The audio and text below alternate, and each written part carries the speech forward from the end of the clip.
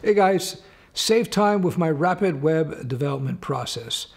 Number one, start off by sketching out the app screens and use case flow from page to page. So what does that mean? I take a piece of paper typically, although you could do it with an iPad or something, but I take a piece of paper and I draw out all my screens, all the web pages, the login page, the product list page, the contact us page, etc., etc., etc. Why do I draw out these pages? Because it's a great way to figure out initially what it is the app is going to look like, the web app in this case. It's also a great way to show your clients, if you have a client, exactly what it is you're going to be building for. Now, the sketches are not there for design, they're just there to show them the use case flow. What does that mean? When somebody logs in, what happens if they fail to log in? Does it take them to a failure page or it's in the same page? Once they log in, what's the first page that they see once they log in? So you draw box to box, little arrows, little lines. It helps in a big way. Another thing that this does, it helps you to define exactly the data that you're going to be storing in your database. So writing out those view pages, the views is just a nerd's way of saying the web pages, the, the, the screens that people see, uh, is the first step. Now, when you look at the development cycle, I like to divide into three segments. First, after I've done my sketching and get the first approval, the first is I write the view code. Basically, if I'm doing web apps, websites, I'm writing HTML and CSS. Now, if you're not a great designer, just use a template, a wireframe template, so you get your three columns or your two columns and your header and your footer, etc. You know, you just want to get those screens up in code form. Once you have the screens in place, then the next step for me is to build a database. Most of the time, it's going to be an SQL-based database, and a lot of times by looking at the screens, look at the forms, look at the information you're going to collect, it goes a long way in helping you to build at least the, the initial design of the database. Uh, don't skimp on that because a properly designed system is going to go a long way to having a, a system that runs well in the long run. And number three, you want to stitch both the database and screens together using your programming code, whether it be PHP, whether it be JavaScript, whether it be Java or Python, whatnot. This is how you get your first alpha app out so that people can start hitting it and testing the uh, application in its early stages. Before I go on, this video is sponsored by Blinkist. Now, Blinkist is a service where they basically take books, popular books, nonfiction, and they summarize them for you. So instead of having to read 300 pages, you read 15 pages, 20 pages, or you can get an audio version as well. It's just a quick and easy way to consume content. Check on the links below. If you click on the link below, blinkist.com slash Stefan, the first 100 people will get one week full access free with the option of getting the full version of Blinkist at 25% off.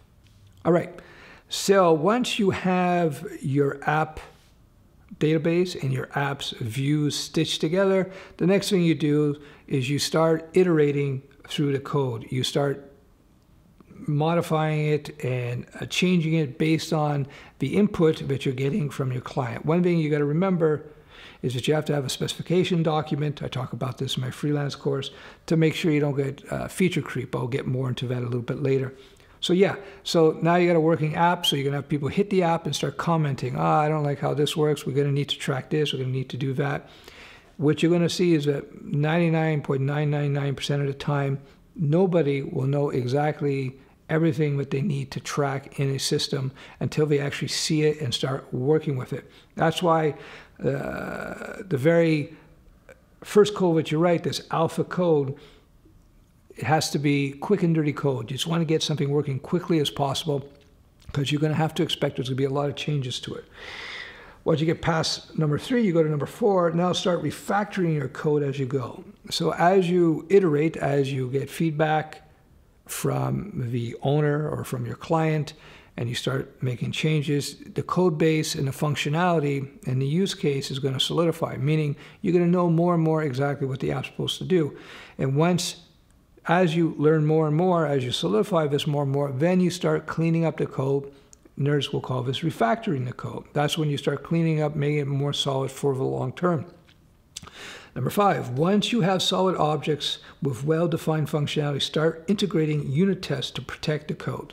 So let's say you're past the alpha, you're into early beta, and you got your data access code pretty solid in place. Then you might want to slap some unit tests in there just to protect it from changes. Again, I wouldn't put unit test in initially because things are too hectic at this point. Too much can change. But once you have a solid code base, then you start getting to more unit testing. Number seven, again, you get continued feedback as you go along. When you iterate, you don't want to get too far away from the client. You don't want to go on a tangent and make assumptions about what the client wants. We all make that mistake. You want to make sure that you give them feedback, but at the same time, you want to make sure that you're getting the feedback from the client as you go. But at the same time, you don't want to allow for feature creep. You don't want to allow for feature creep. That's why you got to have a specification document detailed uh, when you start building your project. Just in initial stages, maybe slight changes to it after you get your initial uh, sketched out screens going, because trust me, they're going to start wanting to build all kinds of different different things. Next thing, their e-commerce store is going to order pizza on the side. So just keep that in mind. And number eight, yeah, again, be sure to the app specifications are detailed in the documentation to help curtail feature creep. Feature creep is just a term that means creeping features, like a like an animal creeping towards you. You don't want your app that you figure was going to be 50,000 lines of code to balloon into 150,000 lines of code.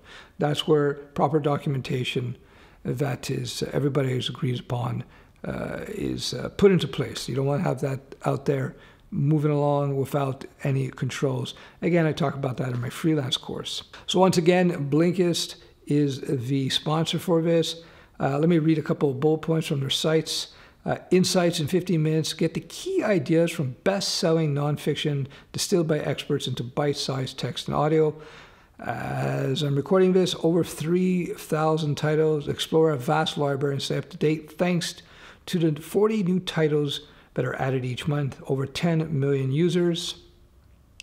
Let me log in. So I got an account, which is pretty cool. So you log in and you got the discovery page here. You got your categories at the top that you can scroll through and you click on, let's say science, and it shows you a list of books that are in the science categories. And the Passion Paradox or Sex at Dawn. Now we'll try the Passion Paradox. So I just select that. Boom, now it's added to my library.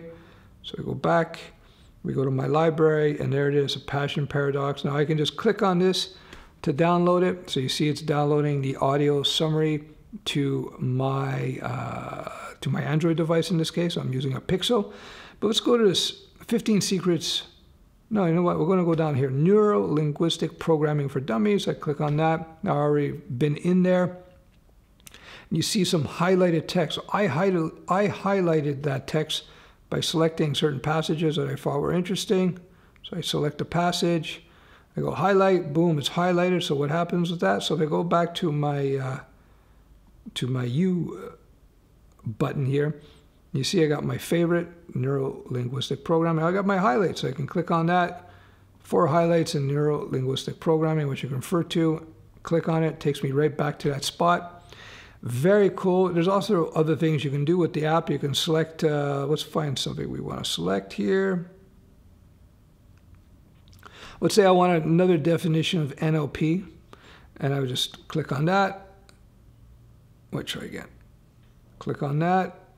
Web search opens up my web browser, gives me Google results for NLP. So there you go. Blinkist, pretty cool product runs on Android, iOS, and in your web browser for the desktop. It's a quick way to uh, expose yourself to all kinds of cool ideas in summary, in written and in audio format. Check out the link below. The first 100 people can get access for one week for free, or you can get 25% off if you decide to go for a full membership.